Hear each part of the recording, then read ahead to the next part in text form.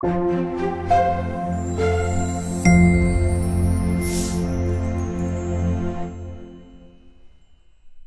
as a moderator, we uh, it's my pleasure to have Dr. Srini Tummala, who's joining us remotely uh, from Florida. He's actually traveling, but somewhere between Florida and New York, he's right there. Good morning, Srini. He's the director for vascular services, uh, Florida vascular specialist. He's also the chair of CLI Glo- Global Society Education Committee, and he's a voluntary assistant professor at Miami Health System. So it's a pleasure to have Srini as ever. We love him in person, but remote, we'll take it this time. Good morning. Good morning. Uh, that was a great introduction. And the reason we decided to do a collaborative case such as this, there's Pablo. Pablo, come on in. The reason we decided to do this case together is because uh, there's been a lot of emails uh, coming to us uh, at our website regarding venous disease. As all of you know, this year we've been uh, having a little bit more of a focus on venous, and um, and I think that uh, it's it's a good good sign to know that people want to learn the right techniques, and and um, so therefore we picked a case which I think is, is representative uh, in terms of what needs to be done for a difficult situation uh, with IVC filters. So uh, without further ado, as, as Dr. Kim is getting ready, we're going to go ahead and have uh, uh, our fellow present the case, and then we'll get started with Rahul reviewing uh, with Pablo the CT and everything. Thank you. So it's a 57-year-old woman. She has hypertension and venous disease with chronic DVT. Uh, extensive history starting from a provoked DVT in the perioperative setting of knee surgery back in 2012. Unclear really if the INR was continuously therapeutic in the initial treatment period.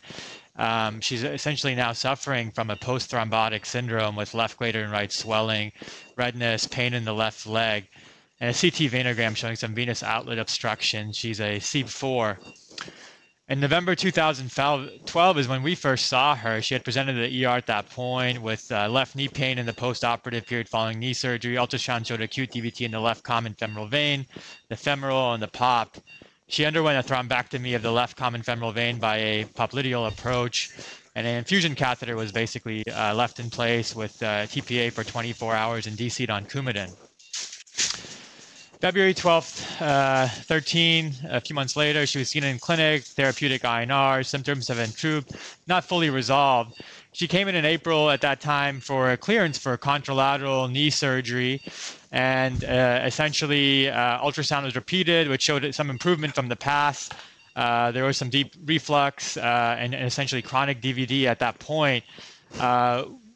In April, uh, in the perioperative setting of her knee surgery, an IVC filter was placed uh, as her clot had uh, uh occurred in that setting in the past. And so we went ahead while Coumadin was held. The IVC filter was placed. It was an Optease uh, Cordis IVC filter that was put on April 15th. She was seen once in 2014 and then followed up again in June of 2015, continued on Coumadin, seen in the office, again, duplex was done. Uh, there was some old deep, uh, deep DVT of the common femoral vein, profunda, femoral pop, and gastrocnemius. That was really unchanged from the prior study in 2014. She also had some deep and uh, superficial incompetence as well as in the perforator as well. We lost her to follow up until about 2019. She came back to the office, uh, was not was feeling well, wanted to come off the Coumadin. We put her on Xarelto at that point followed up again 2021. Again, some left greater than right swelling at that point. A CT venogram at that point showed no thrombus in the IVC filter. Uh, long segment stenosis extending from the left common femoral vein to the left, uh, the left iliac to the left common with associated calcifications. Unfortunately, she traveled out of the country at that point, and then, you know, uh, came back a little bit later, uh, again in April of 2023, and she said, "Okay, you know, I really want something done. I'm having a lot of symptoms at this point. Uh, I'm not going anywhere now. I'll be around."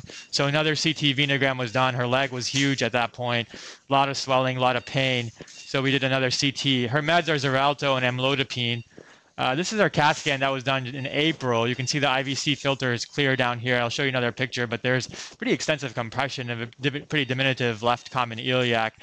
You can see it in this picture over here uh, with the uh, uh the right common iliac and the left um, uh, iliac vein.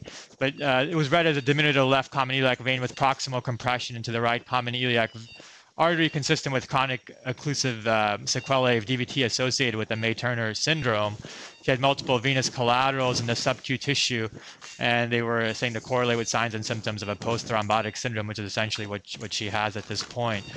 Um, So, so I guess that's the reason why we call. Uh, we'll, we'll, we'll talk Yeah, a little yeah. bit here. So that's why we call Rahul and Pablo, and we talked about it. I mean, so this is a lady uh, we've known for since 2013. I mean, she presented with acute thrombosis post with an occluded filter. I mean, with an occluded uh, entire system. So at that time, we went ahead and uh, we lysed her, and then and then uh, and then at that time, because she had recurrent second surgery, uh, I think that that one of our vascular surgeons was with us. We we decided to put in this Optease filter, and then basically she's been lost to follow up. True. She's been lost to follow up. She's in and out, comes back and forth, you know, comes with some swelling when she has symptoms and comes back. So at this stage, we're thinking that, you know, she has a tremendously swollen leg now, post thrombophlebitic syndrome with iliac vein compression with an IVC filter in place. So I guess we're open to anything here, and, and she is too, in the sense of what the right thing to do here is. From what what what what what our thought was at this stage, the IVC filter should be removed because I mean it's causing not it's going to cause nothing but trouble in the future potentially. Mm-hmm. And and do we or do we not treat this iliac vein, uh, um, uh, you know, compression that's shown on CT in a patient that has a a a, a, a, a thrombotic syndrome? Pablo.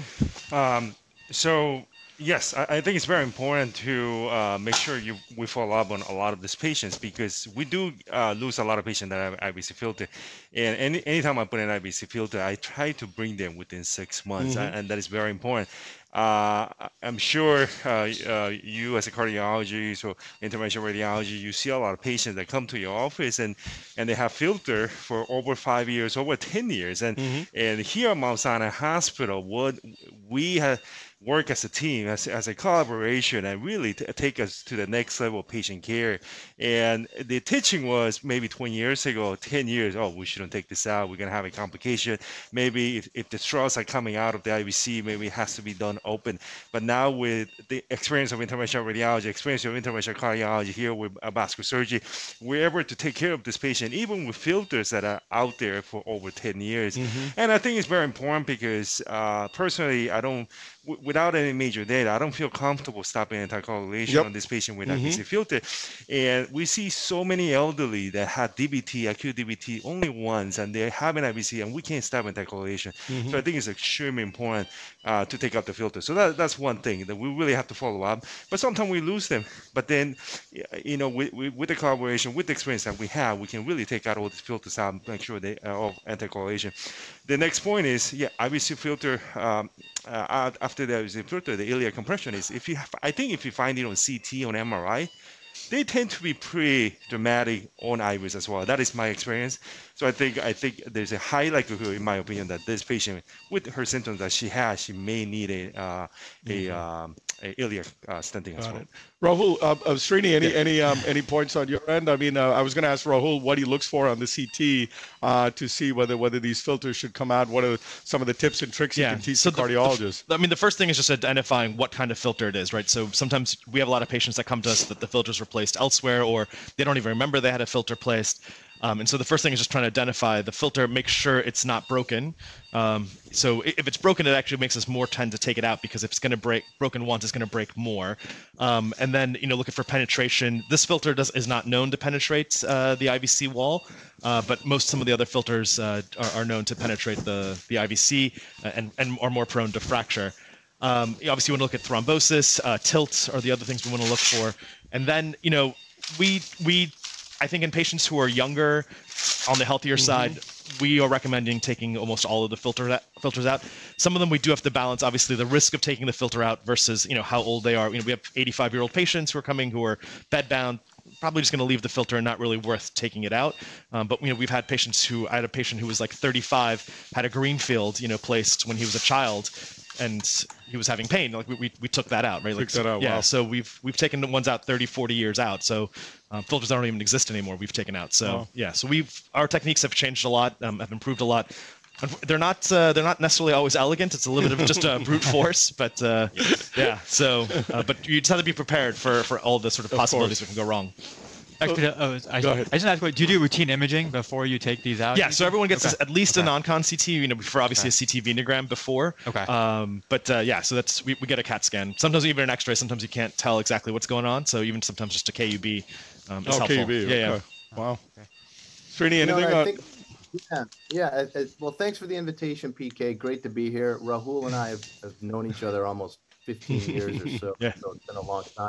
But I think you know this case really shows you a couple of things. One is that venous disease is much more prevalent than PAD, and when you think of how much PAD we see in the U.S. and the world, how there's almost 20 times more venous disease.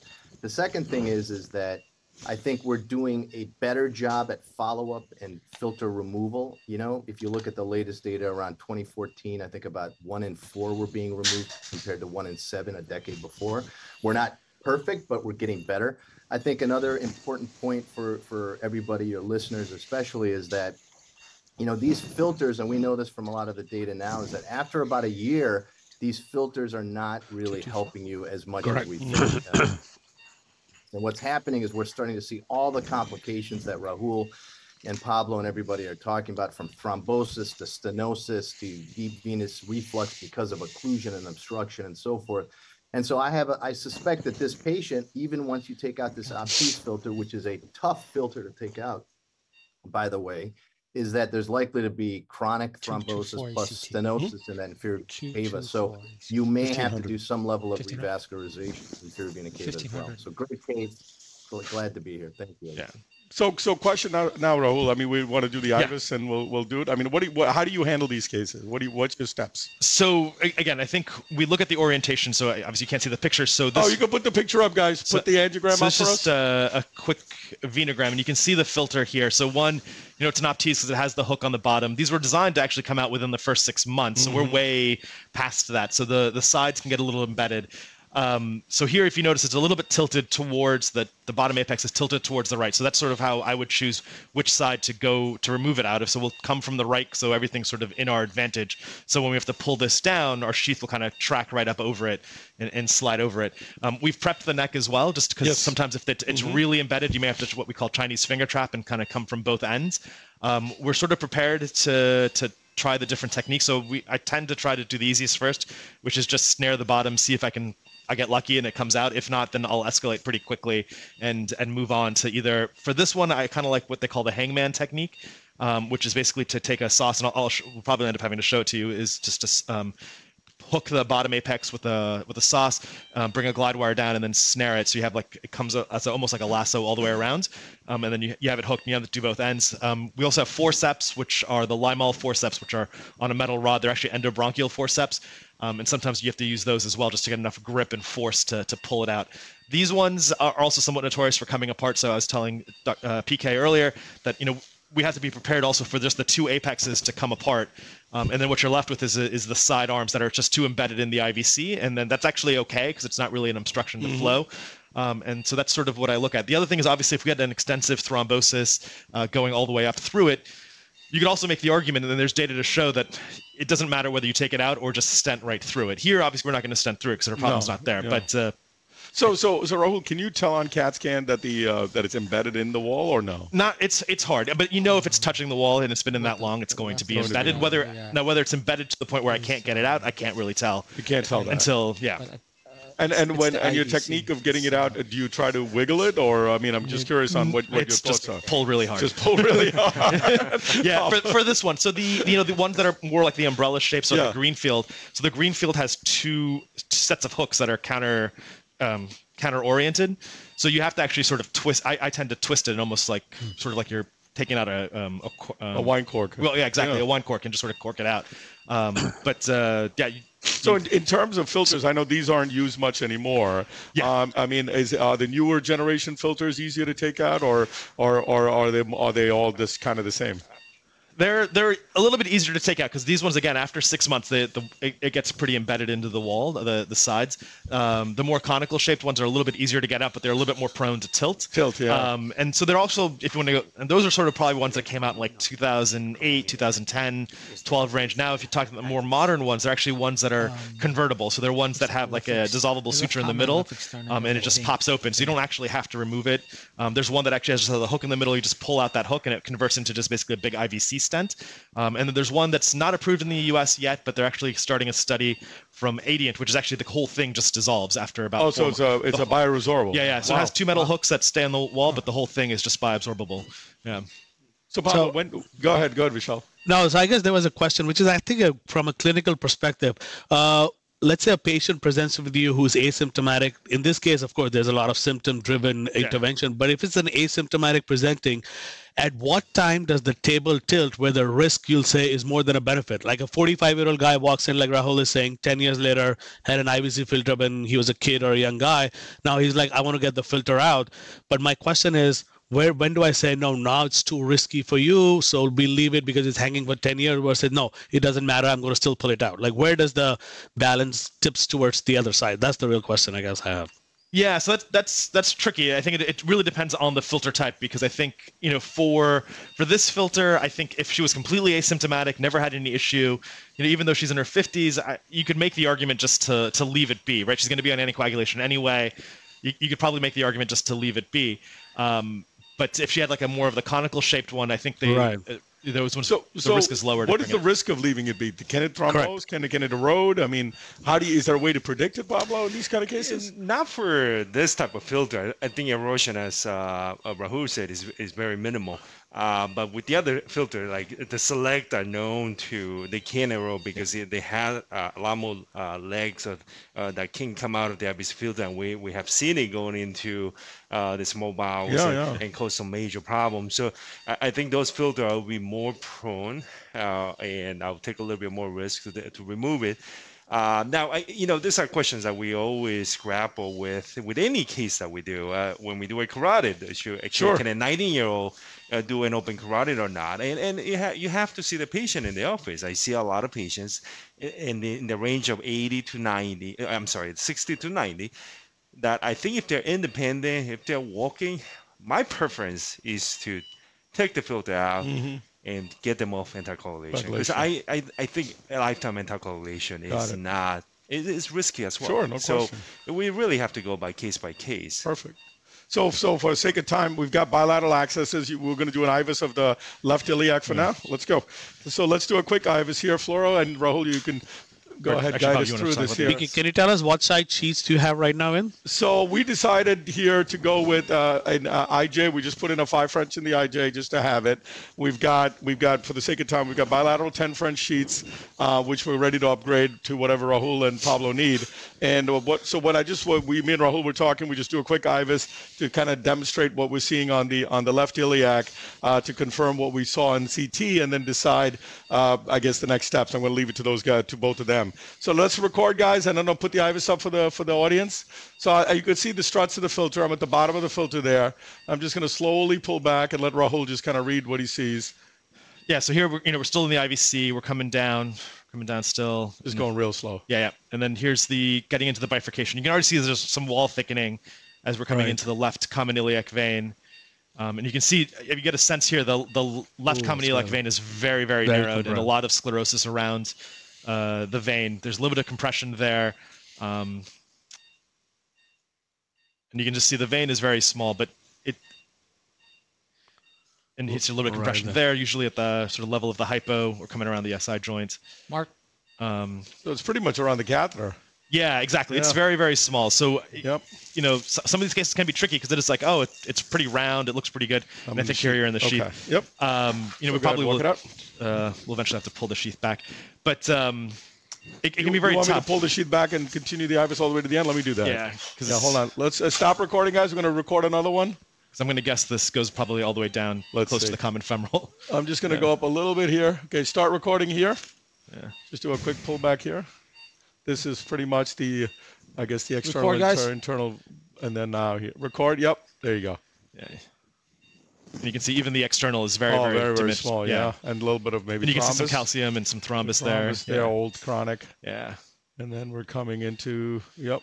And you can see there it's very, very Oof. tight. Wow. Right at the ligaments, and then hopefully it pops up a little bit more, but it may not. It may not. Yeah. So No. even the common femoral there's a little bit jacked. Yep. Oh, Um, yeah. so these- Walk it up. Yeah. So these cases are always a bit trickier. Um, but you know, you can get sort of fooled because it looks good on this side, but if you we, we didn't run up the other side, but the other we did a venogram on the other side. It's the the iliac vein is quite large, so there's definitely Flush a big forward. size mismatch. And Pablo, I don't know, you, you see a little bit more of this stuff than than I do, but Yeah, the, the tricky part about this is uh, if there you is uh, stenotic area Wait. beyond the uh, femoral vein, what would you do? And and do we do we stand across the inguinal ligament or not? Yeah. And I think um, I think for uh, to make sure that the, the stent stays patent. Sometimes, sometimes we may have to. Yeah.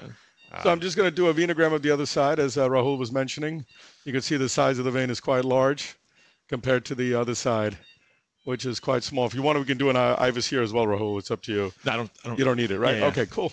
So yeah, so so anticoagulation wise, Rahul, we we, we gave heparin, which Yeah. is obviously reversible. ACT last ACT was 250. I think we're pretty reasonable for this kind of situation. And uh, now you've got the IVUS. So Yeah. uh, what do what do you guys want to do?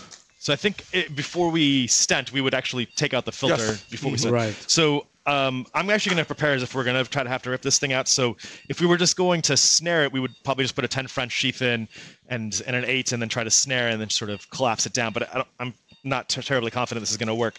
So we're going to actually upsize to an, an 18 French. Uh, sheath here. So from the groin, I actually like the Sentrant sheath. Uh, it's a little bit more rigid. Um, it's also about the right length. Unfortunately, it's not long enough to do it from the neck because it's only about 28 centimeters in length. So if we have to come from the neck, we have to use the Cook sheath. So the Cook sheath is nice in the sense it has the right length, uh, but uh, un- unfortunately, um, it doesn't have a lot of uh, great columnar strength uh, when you're trying to rip stuff out. I It got a little to- nick there for you. it should be Right. okay. I think this is pretty. Rahul, Rahul, do you mind giving us a dry uh, uh, cine of the filter itself to see the orientation? I know we have a DSA shot. The audience would like to do a, see a magged up dry cine just of the sure. filter. Let's just get the sheet then. So we're putting a so what what we we're on a supercore wire. Uh, we've got we've got like a little nick going in the groin, and now we're going to get this up right now. So I'm just on fluoro for Rahul because it's a new room. Obviously, it's different in every part of the hospital. So there's the sheet goes up to that spot. Yep. So if you can uh, uh, put me on coronary, my friend, yeah, and yeah. mag it up for me. I'll just want to show everybody. Yeah. So, you know, there you go. And mag the- it up. hmm mag it up. Oh, I The can shutters on the side, yeah. Yep. Okay, You here know, we I go. think a Yeah, beautiful. thing is that Nice. uh, There it is. you know, amazingly for how long this filter has been in place, the Vena Cava and everything looks a lot better than you would expect. You know, Can I get the eight French sheath there? Mm-hmm. without another fine. I think the second thing too is if you notice, Rahul put in a very large sheath to start, and I think the mistake is because you know we're a big referral center for a lot of filter removals. Is that we used to start with smaller sheaths, and then Yeah, you would so start get rid of this. You would get stuck halfway through, but now we we really Yep, putting that's in six. Yeah, I remember- the neck, Exactly. the groin. Yeah, I remember first doing this. I, Flora? I, am pretty this sure I've, Flora had- I've had to call uh, Pablo to come and do a, cut, a groin cut down because I gotten one stuck in the groin. You know, using the right sheaths, especially if you have to rip it out um, backwards. Um, some of the other ones, like the conical shaped ones, will actually invert the filter to remove it. And if you do it through the wrong sheath and from You the, need the no, actually, Okay. we're gonna try this first. So The snare first. the um, snare first. Yeah.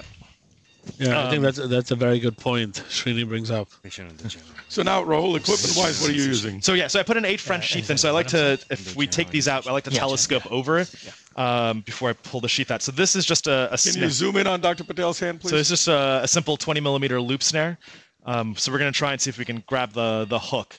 Sometimes what's gonna happen because it's been in for so long, the hook may just fall off because it's been really? Yeah. Oh, wow. They get you get it's So weird. can you can you take off the hemodynamics and just focus on Dr. Patel, please? Take off the. Thank you. Thank you very much. And then you got to show You fluoro as well. the the Yes. snare? Fluoro as well on the side. Thank you. Um, the, the other thing that I, uh, uh, we, I definitely made a mistake when we first doing these cases is um, not doing this on the general. Now, always these cases are done on the general because if you can't take it out with, with, with this easy uh, way of uh, snaring it and you have to use uh, those forceps, it can be pretty traumatic for a patient. So I highly recommend doing this on the general anesthesia. All right. So you can see we kind of grab the bottom. So what we're gonna try and do, see if we can come down and slide down and grab the hook. And I think that Okay. if you So I notice grabbed the hook. Yeah. Go ahead. Go ahead, Srini. Give a hemostat. Uh, sorry, Give me sorry, sure. You know, I, you know, the fellows always ask me this, and, and you you'll see this clamp is that close to the people think you can grab any part of the filter, but if you notice, he made a really specific point about grabbing as distal as possible, the very end of it, because otherwise you'll have trouble getting your sheath in. You may end up tilting the filter more than you want, and so forth. So that's a really key point when you're trying to do these. Oh, Yeah, it's so- actually- So that's a very important you- technique which Rahul just here? did is just telescope the 10 over an 8. No, no, you Just- go. just- Try to Yeah, so- capture it. Yeah, so that's basically what I'm gonna try and do is just. Wow. So Rahul, what are What are the telltale signs you look as if your filter is going to break? There's any telltale signs you can look by pulling to say it's going to break, or it's just It's yeah, Chance. this just it's gonna it's not gonna work. Take the wire out on the other side. wow. Yeah, you you're gonna have to sometimes. is, part of it is you get uh, stretching is as well, this right? You going get in? stretching, elongation, No, it's- it's good. fracture, and so forth. Or your snare it. just breaks and comes off. And so that's the reason for the telescoping of a sheath inside a, a bigger sheath. Sheath. And often, Uh, like sorry. Rahul said, you, you may need access from above think because have it. you know even though on CT it doesn't look like the wall is is fibrosed or scarred Okay, I we- into the filter uh, itself. A lot of times these filters are more scarred in. And anecdotally, we've seen filters that have been in for a month that are tough to get out. We've seen filters that have been in for 10 years that come out within two minutes. So it is really very hard to predict predict sometimes. Yeah, it's hard. Sorry, I just need to pull here. Right? Yeah. hmm So you can see here that they're just sheathing it, and you can see that. Nope. it broke. Uh, so the filter else? broke, huh? yeah, Yep. So the filter snapped. the the hook snapped. The hook snapped. Do we put it? Uh, Yep. Now we're gonna try to go with the forceps. because it's half of it is already in Yeah. the 18 18 French sheet. So- So, I think So we're let's open the forceps, Yeah. Pablo. Yeah. So you, can- you can see that it's it's. Uh, I mean, I mean, excuse me, Forceps. uh, Damien. Can you open the the forceps?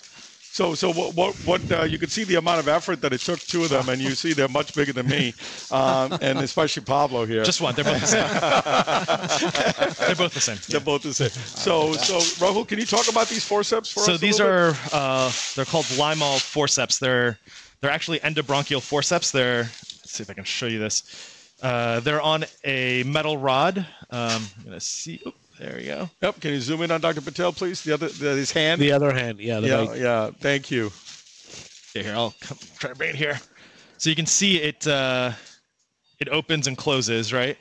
So it's basically one side opens, one side stays the same.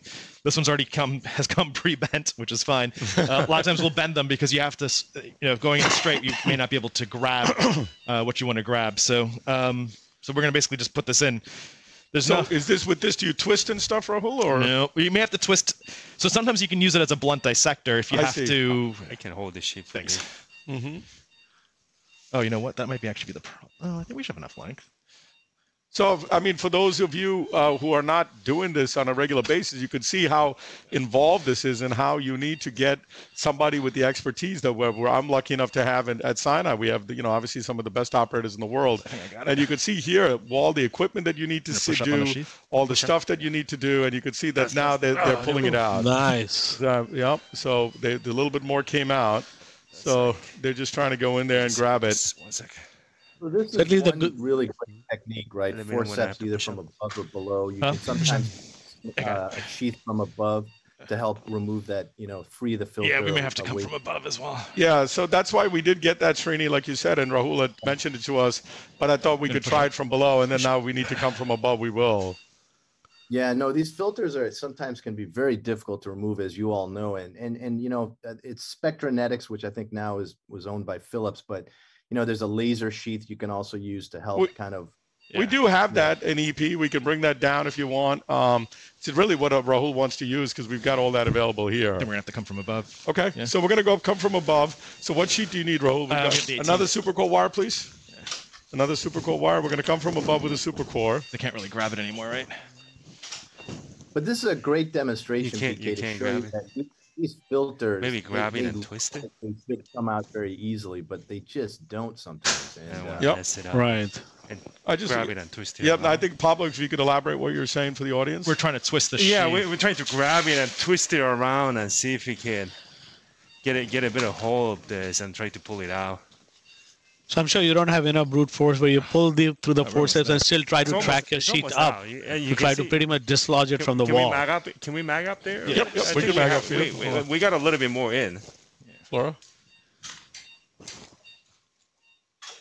There you go. As you can see, yeah, we got more into the sheet. I think we only have one dirt left in there. Oh, we're almost there. there you go. Almost. Almost. Popped Almost. out. Almost there. like I said, it's not. Uh, It's not. It's not. not- el- it's not elegant. Yeah, no, I have, that's true. It's one of those few end endophresia where you can be as brutal. well, you know, I mean, listen. The whole idea With is to safety, have, of course. have have the team in place. Correct. If whatever you need to do, you do. Uh, you know, obviously, this is a situation which is not easy, Uh, and you can see how embedded these filters can get after 13, 14 years. Um, and I think you might. Uh, now, coming from above, how will this help, Rahul? So I can just pull. I can get get the top and then sort of pull it straight, right? I see. You, you basically collapse it from the top. yeah. Yeah, because you know, in, in essence, right now, that is really scarred into the wall of the IVC. Yeah. You're probably pulling some of the, you're Yeah. probably invaginating the IVC as well. Yeah. you're pulling just- it. Yep. No? So yeah, so Yeah. we're gonna come from the top, right? Can you give him the Yeah. super core? Yep. And uh, I think we're gonna come from let's, the top. where's Dane? Just super easier to core. grab it from the top and then. Yep, we got the super core. So so we're gonna have the super core from above. I'm gonna go to low mag for Dr. Patel, and have him. I'm just gonna go on fluoro here, and just show him above. So this way he can come from above. So as a, as as a go ahead. Dame, can you tilt this uh, to Dr. Patel? He might need a cheater over there, Ray. Yeah, Srini, sorry, you were saying something. No, Can you I was tilt saying this? that you know, Bring it although up. complications are There you go. rare during filter removal. Uh-huh, You, know, there you you go. always want to be prepared with large balloons in case you do get a perforation Yeah. inferior. Right. We've, uh, That, that was my question. What do you, what balloon do you have in your back, just in case? PK, what size? So we usually use a Reliant, uh, which I assume actually you guys have up here. Yeah, we we have Yes. the large uh, occlusion balloons. Um, we have it ready if we need to. If we need it. yeah, that's so, a very good So now point. you're that gonna go with a big brings up. sheet now. Yeah, I need to make a nick and. Yep. Give give, give Dr. a. Patel a, a, a nick. Yeah, we always have a uh, a- aortic balloon ready and and an aortic stent graft. Hopefully, we never get to that point. Hopefully not. Uh, yes. But we always have that in the shelf. Yeah. And I'm sure when Rahul's getting down, you'll see he'll try to be, you know, as careful as he can because, you know, there's a lot of fibrotic tissue and synechia and, Yeah. you know, you're not necessarily dealing with a wide open channel. one You may 35? suspect you uh, want to be careful with slide wires, Right, right, hold especially stiff. Uh, Yeah, in this exactly. Area of trauma, Right, because you can perforate, you can dissect and so forth, so. Yep. So so what- so what we're doing now is we're gonna take the sheet out. I need a We're nick. gonna here's a nick. Here's a nick Rahul. I don't want to give it. Is- Is there is there any role of trying to wire across the Oh, filter, oh, balloon it drop to it. try to see if we can dislodge it or at least shake up a little bit by ballooning across and then trying to pull or tug? Um, sometimes you do have to balloon it to get it off. I don't know if that's going to be super helpful. Can you raise the II? Sorry. The what? Can you raise the yeah, II? Raise the II. Sorry. Ballooning is usually kind of early in the in the filter removal process, Vishal, in the sense of you're you're trying to get the balloon between the wall, No, we And need it the- bigger than that. the We part of need the a filter. filter. guard in, and you're trying to you know change the orientation so you can get Right. over the top. You know, now I think it, it probably wouldn't be the, the best choice in this case. Makes sense. Yes. The Cook 18. Yeah, sorry. You're gonna stick it right in there. I'm going to try. And, and I think what Rahul's going to do here is he's going to put in a large sheath. He's going to snare it from above. He's going to get the sheath over it to try to collapse it and free up that scar tissue. Jesus Uh, so because once he frees up that scar tissue, this filter will come out very quickly. You know, the hard part is fibrotic tissue. It's really tough tissue. It's amazing how tough it is. Yeah. Does not want Uh. I think one thing I really agree with is doing under general anesthesia, but you're absolutely right. With so much manipulation and big sheets, I don't expect No, anyone to tolerate however how much sedation you give it. Wire's got to go Okay. down, Rahul. I think general anesthesia is the right way to go, which makes perfect sense. dilate it yes. myself? So Srini, you always do it under general anesthesia, No, or it's, uh, or you can even take the No, stylator. we, uh, we actually, our dilator. first attempt for most filters, unless it looks like an, an Optease or a TrapEase or one of Give me the, flush. the older Yeah. filters that's been for a long time, we usually do Versed and fentanyl, and only if we're unable to get it out easily at that setting, then we bring them back with GA. But I, I- I don't think you can fault anybody for doing this case with GA because you can see your large Careful. push sheets Mhm. can be Okay. So this is an 18 French sheet, uh, PK? No, that's, a just dilator. That's just a dilator. Oh, sorry. Oh, Just yeah, dilating yeah. it. Yep. Now we're going with the sheet. Yeah, the cook sheath's not the best sheath because it's got a terrible step off. But Yeah, we're gonna try the dilator, but I'm always here. I can dissect a little bit if it doesn't go. Uh, don't think you want to do a the Well, Yeah, again, having again, a it's uh, you know, room. it's it's the it's the together uh, approach, right? Everybody's here. Uh, you know, you got all the all the uh, people that Oh, you there you need go. to help, and now you can see the sheet goes in. You know, and now he's well, watch out, it's going to the Yeah. kidney there. Yep, yep. There you go. Now we're gonna just take it down to on top to Dr. Patel on top. how the wire is kind of buckling on itself, not looping, because it shows you how much uh, fibrotic tissue and probably a corresponding stenosis and retraction that there really is there. You know. Right, exactly. That's a very good point. Yes.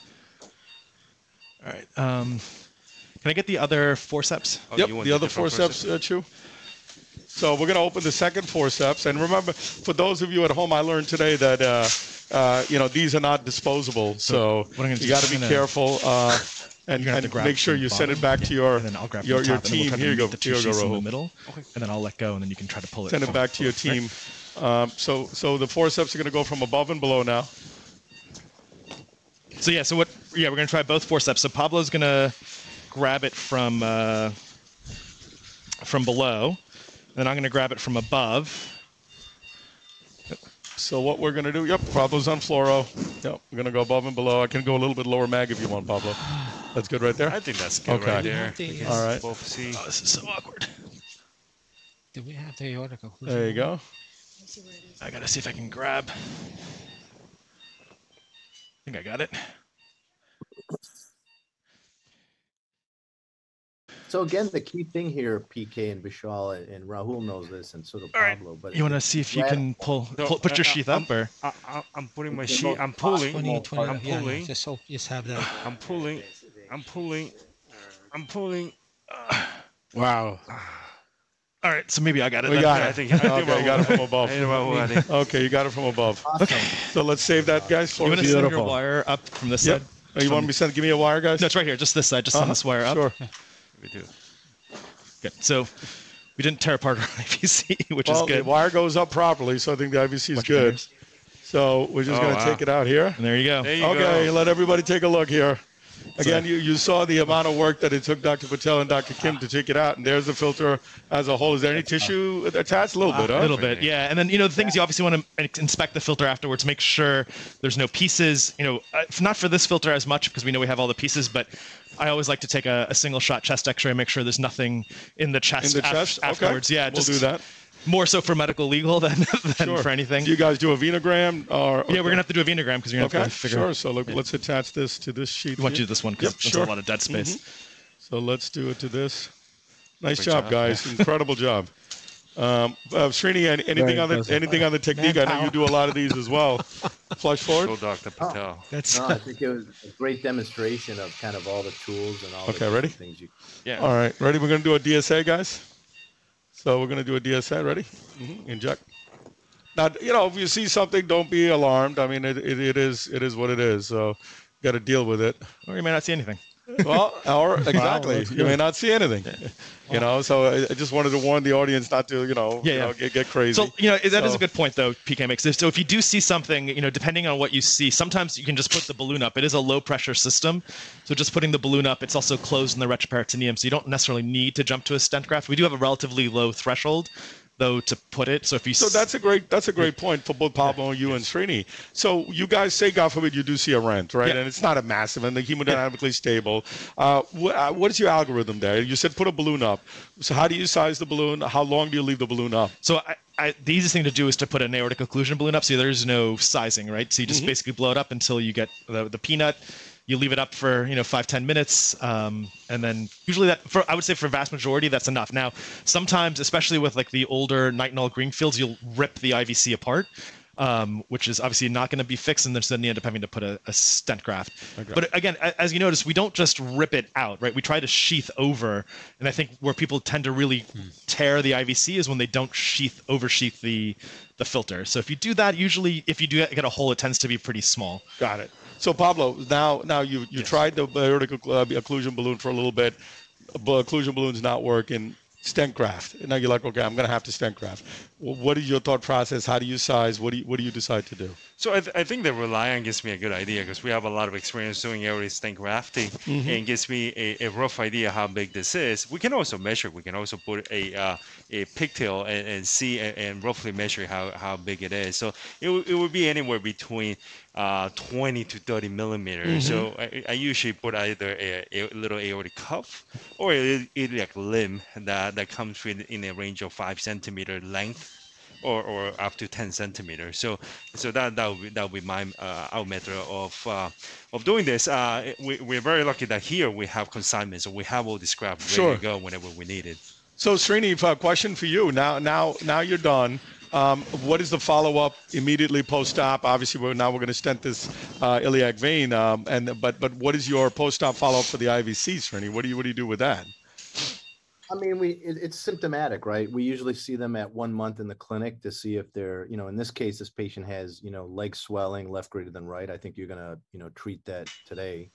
So we just follow them and see how they're doing symptomatically. We use ultrasound. The only time we get CTs post IVC filter removal is if we've had a complication. Okay. Or an issue. Oh, okay. I didn't know Yeah. that. Okay. Yeah. Yeah, that was one of the audience questions as well. Oh, the audience. uh, Okay, Yeah. cool. Yeah. So so so so you guys, You do a plain Yeah, chest X-ray to look for debris in anywhere. In, Yeah, we in- we would just do it like at the, uh, you know, just with the fluoro, right? With We'll the just- fluoro. Yeah, we'll Got do, it. Um, especially the the conical ones with the ones with legs. right. Um, because you never, sometimes they have very small legs. You're not really sure if you got them all out. So you just want to make sure. So actually, I'll start the case with a chest X-ray because if there are already legs there, I don't want to get blamed for it. That's a good point. And then we'll we'll end the case with a chest X-ray. And that's how I just teach my fellows. So start and end the case with a That's a with a, great chest idea. X-ray. Okay. Um, so that way you know uh, that you got everything. The follow-up again, as Srini said, is, is purely symptom um, symptomatic. So if they're having symptoms after the filter removal, then I'll get a CAT scan. But typically they, they usually don't. They're they're pretty straightforward, and we'll just um, do this. So for the non-complicated filter removals, we actually I don't really see them back in the office. So if it's a straightforward filter removal, usually Done. I'll talk to them afterwards. It's done with a little Versed Sentinel. I'll just fentanyl. I'll talk to them in, in the the holding area, and then that's that's, That's, the end. do you keep them overnight or you send them? No, home? no, but everyone goes home. Everyone goes home. Yeah, wow. Yeah. Okay. Yeah. So for something like this, you'll keep. Um, no, we usually send them You home. would send them Yeah. home. Okay. Wow. That's We're pretty. We have a low threshold, and No, the hospitals are very full. that- because honestly, we don't know, right? I Yeah, mean, you know, yeah. we're we're worried about you know anything happening in the IVC down the road. But you're saying if it doesn't happen acutely, likely, unlikely going to happen. Exactly. Yeah. down the So road. obviously, if she wakes up in excruciating pain, Sure, then, then sure. yeah. But uh, it, it's pretty rare that they have to stay. I have to That's say. great. Yeah. I don't know, Srini, what's your experience with uh, keeping patients? or Yeah, not? no, no, Rahul, same. We send them home the same day. And again, unless we had a complication like a perforation or some type of injury like that, they all go home the same day. And, and you know, PK and, and all the cardiologists know this. Right atrium is the lowest pressure point in the body. Blood naturally wants to go there, not out into the retroperitoneum. So low pressure system, you don't really have any problems, you know, Right. knock on wood. Right. So- and you and you restart your anticoagulation next day morning, or you just send them out on a pill, or how does it work? Well, especially in this case, right? Because So- we know that we're going to stent this iliac. We're, we're going to have to leave her on anticoagulation for a little bit. So, what, if what's it- your or thought? if it's just a straight filter removal, if it's going to be very, very complicated, I tend to take them off their anticoagulation and then start the Lovenox basically before they go home or whatever. You know, I usually give them a dose of Lovenox and tell them to start their DOAC the next day when they go home. If it's not super, comp- if it's not super penetrated or anything, actually we'll leave oh, them on their anticoagulation. We don't tend not to stop Oh, their okay. AC. Oh, Yeah, wow. what Okay. That's a good How about you, yep. Pablo? Anything different on that? No, no, nothing different, nothing different. But um, I- you know, I'm a huge proponent of stopping anticoagulation after this. Yes. So Oh, the yeah, next, so that's a the different next pro- yeah. day, uh, if it's if it's not a complicated case and they didn't have a major PE or anything like that, um, I would probably start on aspirin the- in day one and, and no more uh, full anticoagulation with uh, with the NOACs or, or Coumadin or any other agent. Yeah. And I guess one of the audience had a quick question for you as well. Would would the IVUS being filled up with a chronic thrombus change your strategy in pulling, pushing, or any of the techniques, or anything changes? It remains the same. I mean, It's here we still- tried to IVUS. It remains the same. Although this filter, we've seen a couple of them uh, where it's gotten filled with clot, and if it's been in long enough, it's actually calcified within within it, and those ones you're just not going to be able to to get out. So those ones will just end up stenting stenting through. We had one which it, it looked like a boulder inside the the IVC. So those ones you're not going to get out. But if it's uh, chronic, we've done ones where they're, it's just occluded, right? It's chronically occluded, and we've taken them out. Um, there, you can actually be a little bit more aggressive because the IVC is occluded, right? So you're not really worried about it bleeding at that point. Got it. Um, and you're probably going to end up having to stent through the occlusion later. So Right. So, we, so we've got 10 more minutes, Vishal and, and Srini. So what I want to do is now talk to both of them about stenting this uh, this thing and what's your technique uh, that you guys might have do in terms of this this uh, filter. Can you play the IVUS so they can look it over the first run, please? And how do you guys size in this type of very chronically, obviously, it's compressed and uh, and scarred down IV uh, uh, iliac vein? So let's go. Let's start from the IVC. This is again for the audience. This is starting from the filter and coming down. Now, which of which, which of the areas you guys mark and measure? I'm just curious on how you would do it. So here's the IVC coming down. You can see the IVC. You're going to see the confluence very shortly, and then there it is. And then, then now you're going to see the ostium is going to get really, really compressed in a second, which shows that you really do need Right to there. take care of that compared to the contralateral. And then uh, and then now you can see the entire segment is is pretty much compressed. A little bit better there.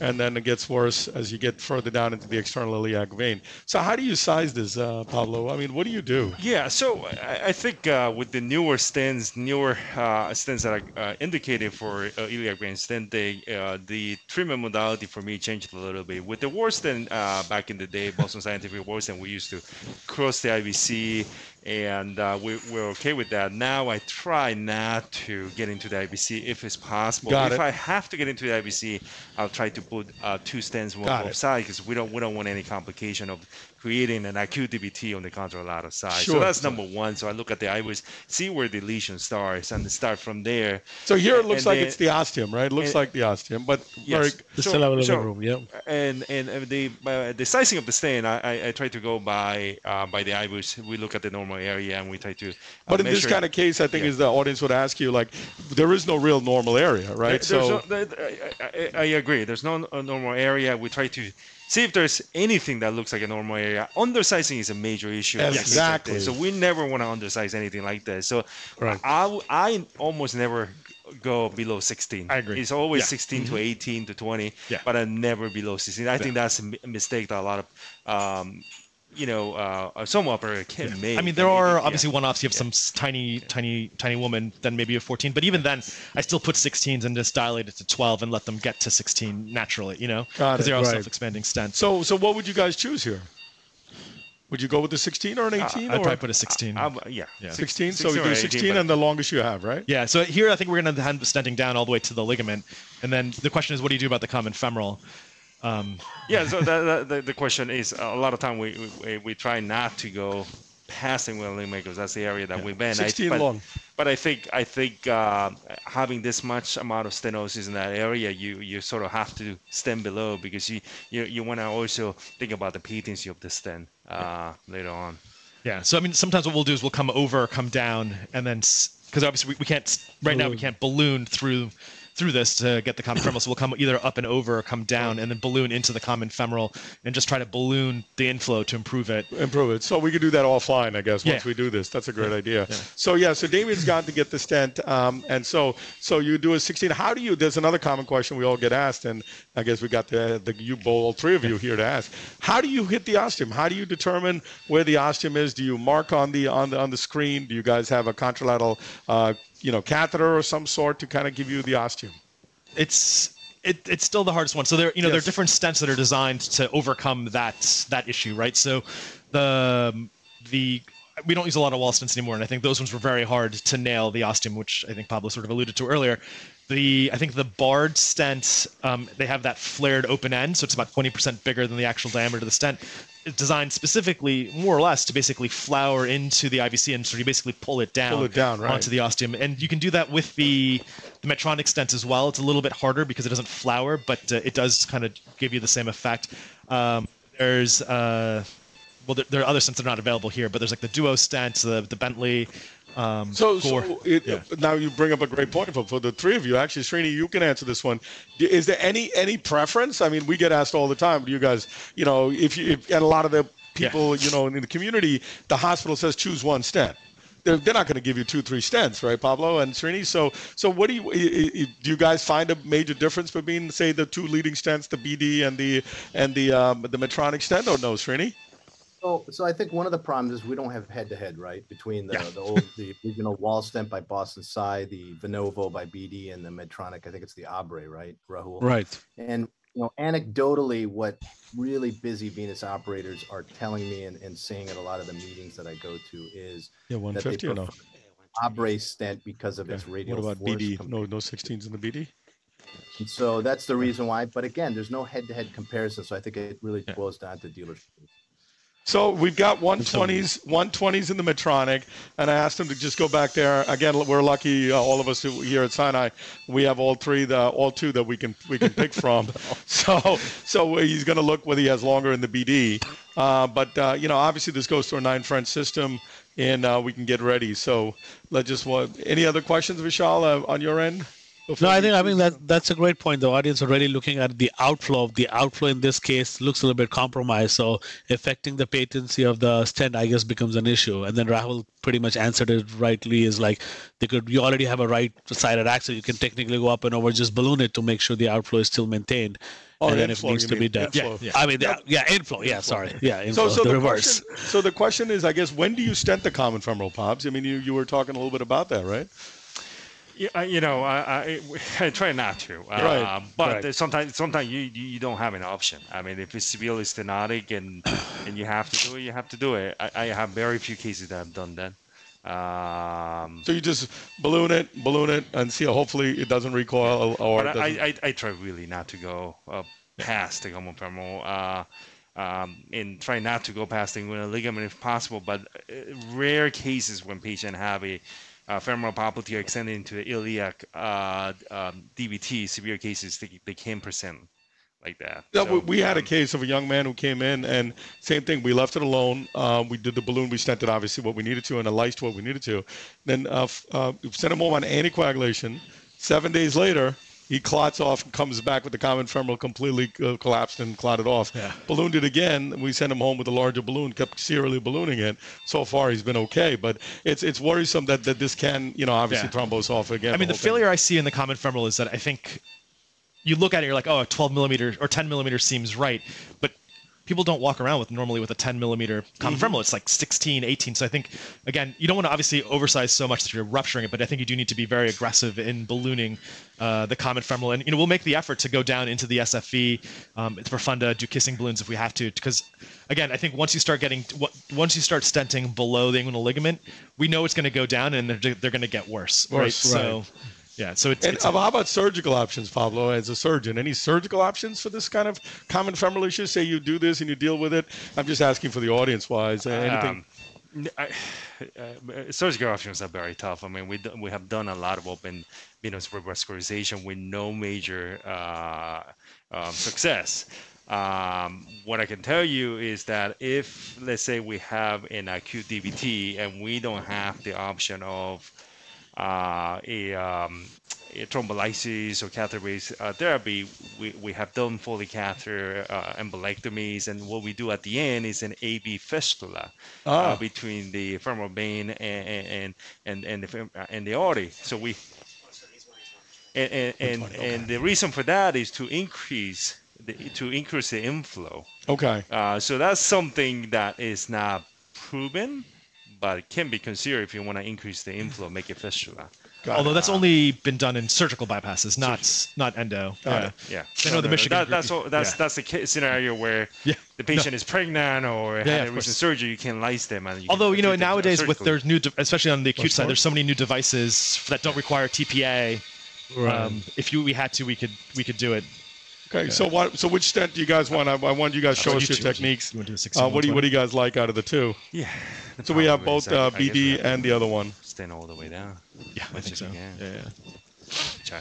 Anything in particular, Rahul? Uh, Pablo, we have both. Do you want Abre or BD? I don't really care. I, I want to use Abre, but Yeah, what, sure, what, yeah. whatever you want. I mean, Yeah, let's can do the pick Abre. it. So let's Let's take go. us- We're gonna get the yeah, Abre, yeah. please. Let's we're gonna get the Abre, and um, get and another uh, we're gonna we're gonna go ahead and get started with this. Um, Yeah, and as Uh, you said, I mean, we chose the Abre here. I, I do think it has a little bit more radial force, but there is no data to show this is actually better than than the other. Um, you know, there was there was a Boston Scientific one that was out. yes. Yeah, so that one got pulled. I don't think it's ever going to come back, but it was a little bit different. That was a closed cell design. That one had a lot of radial force. There's one from Gore that's in study now, um, which seems interesting. They actually have an IVC stent, so um, you know they ha- they have the bigger sizes. Again, I think you know per the IFU here, it's not such a big deal, but you know we do size these stents, especially for non-occlusive lesions. We do use the uh, use the IVUS to size them in terms of placing them, because you don't want to undersize them. So I think Rahul, any? Go ahead. Sorry. Go. Uh, no, my fault. Any any role of uh, pre-dilatation with a balloon in this case? Um, so if obviously if it's a CTO, then yes. But uh, for This floor is right there. Yep. Yeah. Yep. For for this, I don't think we need to pre-dilate. It, it's again, it's sort of like a external iliac artery lesion. You need to pre. Just be careful, Uh, maybe Laura. I a think you're 14 or flexing the IVs. I got it. Yeah.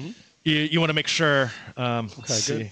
Okay, you want to take some dye through the other side? Yeah. You can probably inject through this. No, you probably can't, right? You can, you can. You can, right? So Um, you- it's a nine and a ten. You yeah, should just cover it up with a little so you don't spray Yeah. or spray or something. to- just uh, this button. yep. Let me- mhm. Sorry, I don't want to blast myself with radiation here. Yeah, exactly. Bring the CO, the, the up, yep. There you go. Oh, sorry. Cool. Uh-huh. Go ahead.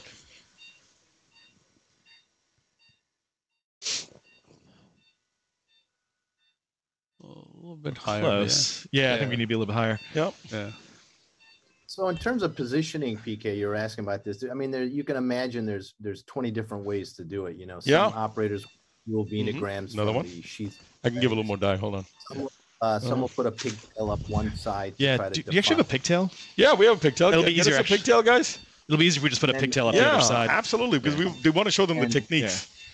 Yeah, and then once uh, you Put know in the other Rahul one. does this, a lot of times operators will lock the table. They'll draw on the screen. I mean, there's so many different things you can do. He's just gonna put because that you want to make sure you don't miss. You might need a cheater, compression. Like, like Pablo was saying, is there is about a 15% chance of contralateral acute DVT if you extend too far You got into the inferior vena. I think so. Cool. So, Yeah, I Well, think that's a very important point. Is that That's is that good. is that also data with the newer stents, uh, Bastrini, or is that all older stuff? Flor? old uh, old wall stent data. Wall- Yeah, that's So- what I because I've been hearing from from the companies that that's not true uh, with the uh, with the newer the, with the newer stuff. So I I'm not sure. Yeah, no, I, I think you're right. You're right on. It's old data basically, and so I think that's it. Just shows you kind of. We think that we need data in the PAD space. We, we definitely need it even in the venous space. Here you go. Yeah, yeah, let me get. Yes, thank I you. think this is a good point where he's marking with the right side. I usually also do it like Srini talked about. I was sit, lock the table, mark it on it with I was guided so you can actually see the confluence. Oh. Of course. So that's another uh, lesion of. Uh, but getting a pigtail obviously also helps us to angiographically define the anatomy. Or you could do a combination of two to really if you're not really sure. So yeah, definitely. Yeah, and you know these newer stents they, they have a much better delivery mechanism than the the old wall stents. So again, I like I still like the technique of bringing it up over the bif- over the the And then bifurcation, flowering it, and just bringing it down, Putting it pulling back. it down. And you're not worried about it. One of the questions you we often get is, are you going to hurt the, the by pulling the stent down that's deployed? Is that anything going to happen? No, I mean I don't obviously within reason. You know, you're not, you're not yanking it, but we just pull pull back until you reach tension, and then you know Yep. you're pretty good. I think I think it's up, right? Uh, no, I don't think you're there yet. Yeah, there we are. Oh, there you are. Yep. Perfect. All right. Do you need dye in this or anything? Yeah, so Okay, let's. this is dye, I think. This is dye, yeah, right? that's Yep. that. Yeah, Hundred percent. Yep. Uh-huh. I can do this, I swear. Yeah. you tell me when. Yep. Tell me when. Uh, let's see, where's the picture?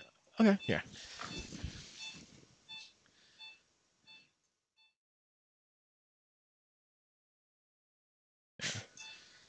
So maybe just a little bit higher, Pablo. You think, or you think we're good there? Uh, y- yeah, I- you know, uh, we- again, we, we have a different technique. I, I, I go, I, I, I try to obviously mark all the areas and then look at the bony, uh, uh, The bony bony structure and then just lock my Oh, eyes sorry, on that the bony me. structure to deploy this. Yeah. Uh, Yeah.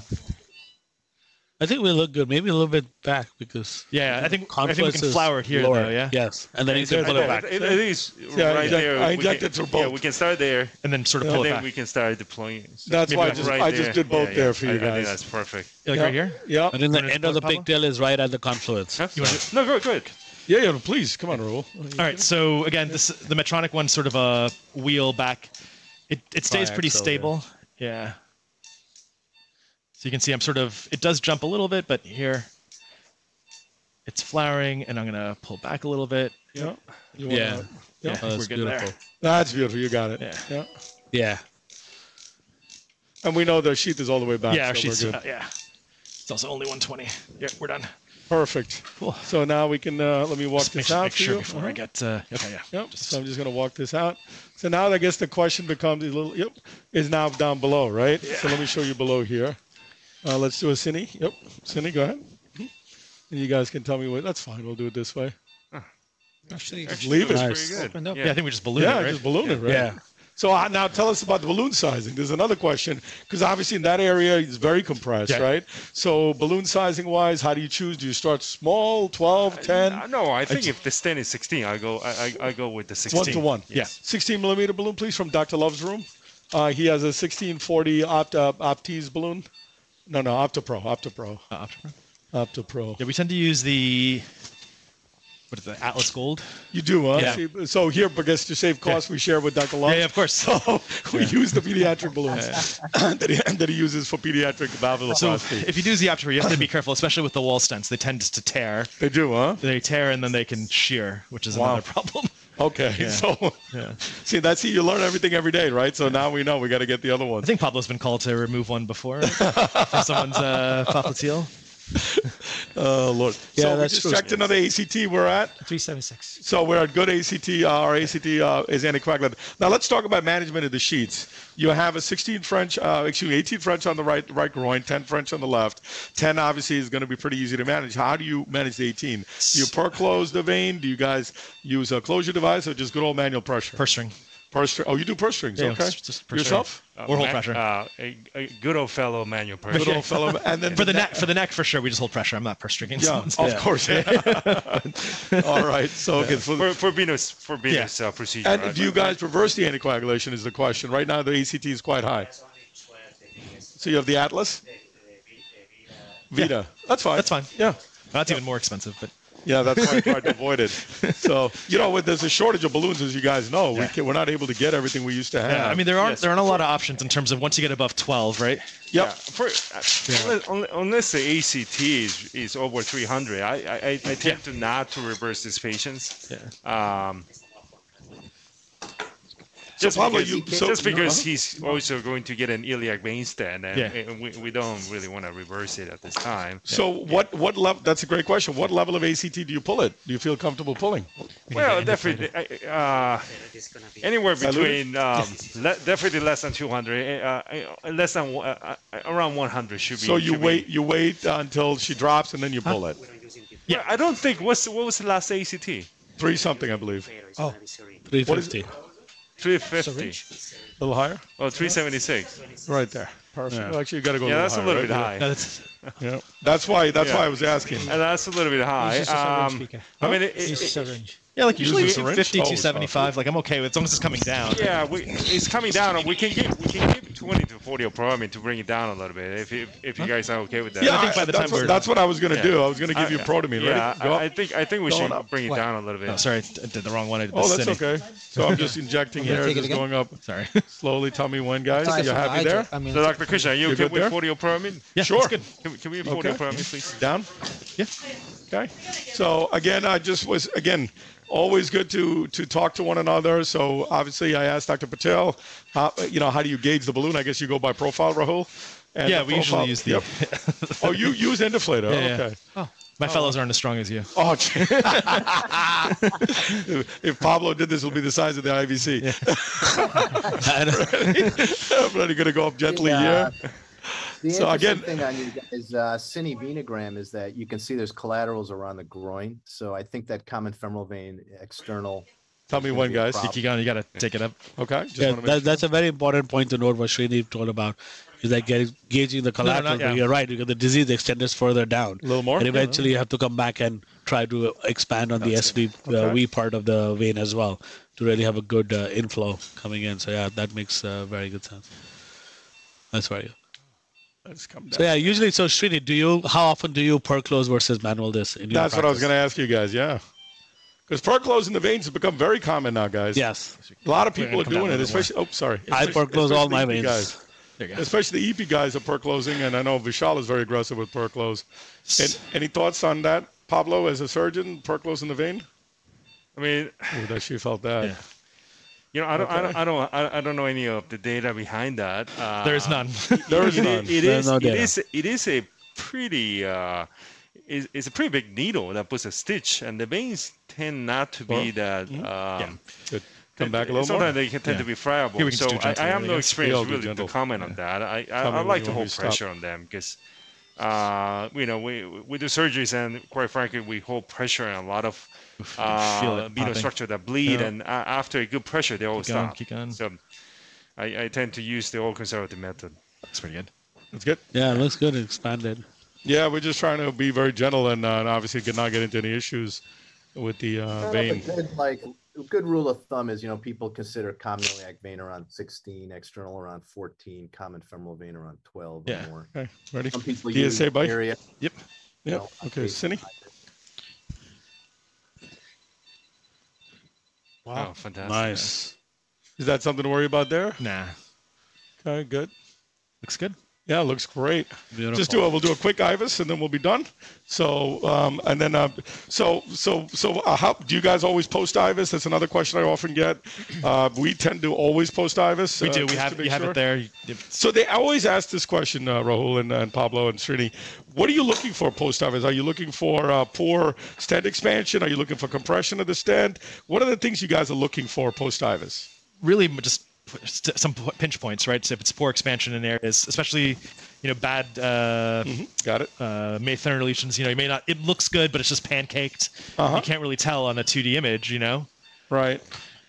Good. Yeah, Here's- and for, for me, it's make sure that uh, we, we have uh, Laura? You want to land say? the stain Nice. correctly, proximal and distal, more for, more so uh, more right, so let's in the record inflow, above, make below. sure there's Yep. no All right, we're going to record above below, guys. Record.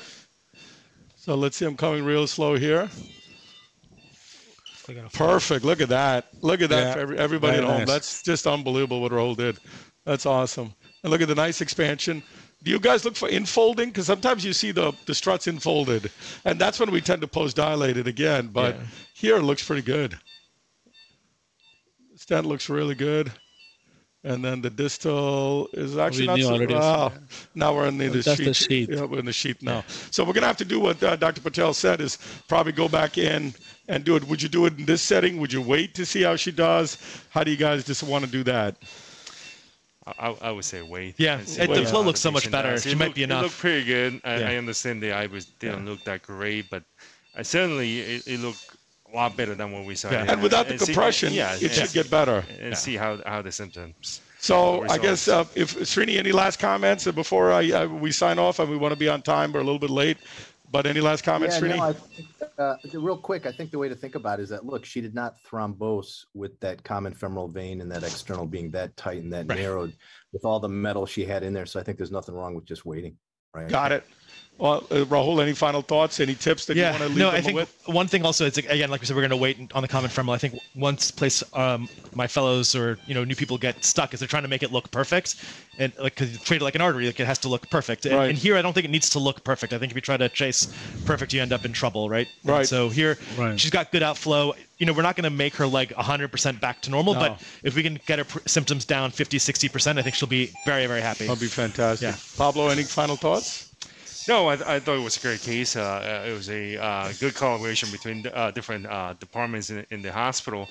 Uh, the approach from b- below and, and top, really, I think th- that was the key for this case. Uh, and um, you know, I think I, thought it was a great case. Well, thank you. Well, listen, I, I want to thank everybody. I want to thank, uh, obviously, Dr. Tummala. I know you're an NCVH. You have a lecture later.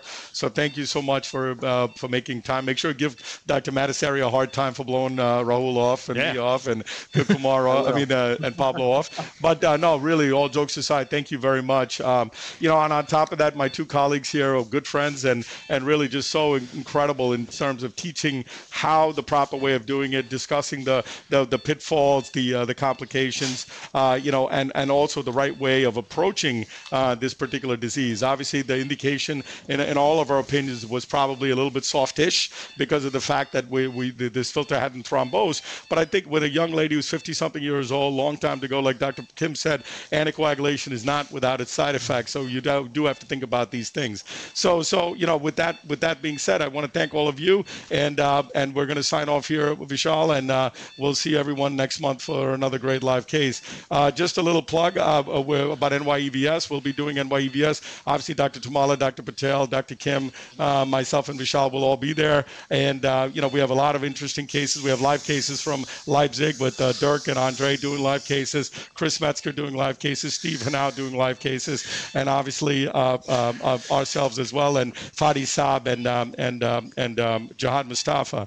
So we have live cases from all over. On top of IR, uh, you know, is going to do some great submit venous cases from down below, and Dr. Kim and, and his colleagues are going to run the aortic, uh, you know, uh, symposium, especially with cadaver labs, uh, with a tremendous amount of teaching uh, case presentations. For the fellows, there's a fellows case competition for venous, arterial, and and uh, and aortic, and uh, where we give out, give out great prizes. So obviously it's a limited number. We have 60 fellows for the, both the venous and our, our side combined. So and then we have another 30 for the aortic side. So 90 fellows. Last year we sold out within a month and a half. So uh, please, if you're really interested, go ahead and get involved and and come join us in New York. So thank you again, guys. Thank you. Thank you. Thanks, guys. Thank you. All right, thank you.